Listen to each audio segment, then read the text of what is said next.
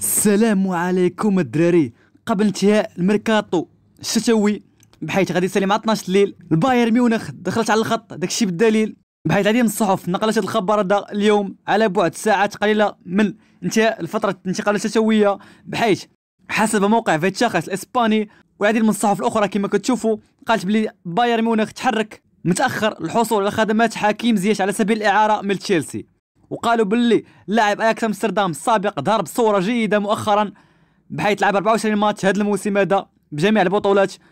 وسجل فيها ست أهداف وصنع أربعة الأهداف يعني ساهم بحوالي 10 أهداف 24 ماتش. وقالوا بلي العملاق البايرن ميونخ ضمن المهتمين بخدمات زياش وفقا لتقارير اسبانيه رغبة منه في تدعيم صفوفه خلال النصف الثاني من الموسم الجاري.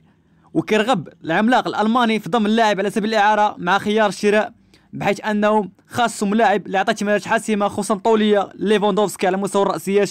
يعني ليفاندوفسكي محتاج لاعب بحال زياش صراحة. وبالتالي القضية بقى محسوماش وبقى ساعات قليلة. ويسالي الميركاتو شتوي وبالتالي إلا شفتوا لا فيديو مورا 12 ليل وما طرا والو. حتى ما رسمية. لكن غالبا الاهتمام هذا ما غاديش يكمل بحيث ان توخيل حاليا ولا ضمن الخطط ديالو حكيم زياش وأيضا على ما سمعت أنا بلي ديمبلي قريب من المشي لتشيلسي. يعني القضية مخلطة ديال بصح. حيت ديمبلي تو كيلعب كجناح وبالتالي القضية غادي تكسر على مستوى الهجوم ديال تشيلسي اللي فيه بزاف ديال اللاعبين اللي عارفينهم.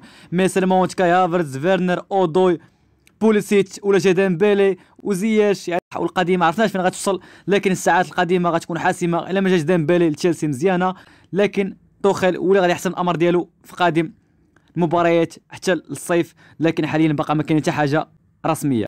أش بالكم واش مزيان يمشي الباير أو يبقى في تشيلسي؟ تهلاو لي في راسكم